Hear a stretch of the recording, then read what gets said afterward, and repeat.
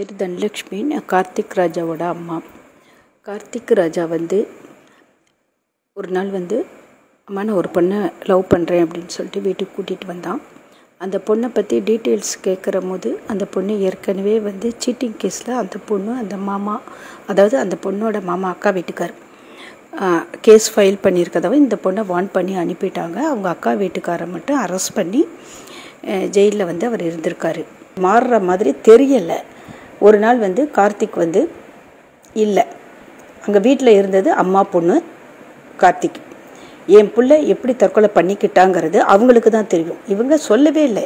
எங்கிட்டே முதல்ல சொல்லலை. அங்கே பக்கத்தில் இருக்க எங்கள் ரிலேட்டிவ்ஸ் கிட்ட தான் சொல்லி அவங்க தான் எங்களுக்கு கால் பண்ணாங்க. இது போலீஸ் கேஸ் ஆகிடுச்சு போலீஸ் ஸ்டேஷனில் போயிட்டு நாங்கள் இது பண்ணும்போது எங்கள் இதில் வந்து அவங்க எடுபடலை. ஒய்ஃப் சொல்கிறதம்மா நான் ஃபஸ்ட்டு எடுத்துப்போம் அப்படின்ட்டாங்க. அந்த பொண்ணுக்கிட்ட கேட்குற போது இல்லை பாடியெல்லாம் எங்களுக்கு வேண்டாம் அவங்க அவங்கக்கிட்டேயே கொடுத்துருங்க அப்படின்ட்டாங்க நான் ஆகலை அப்படிங்கிற மாதிரி சொன்னது எங்களால் வந்து அதை வந்து ஜீரணிச்சிக்கவே முடியலை முழுசாக ஒரு பையனை வந்து அம்மாவும் பொண்ணும் சேர்ந்து